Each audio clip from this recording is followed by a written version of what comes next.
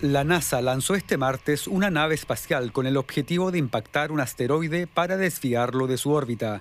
La nave DART se dirige hacia el asteroide Didymos y su pequeña luna Dimorphos, que será el blanco del impacto.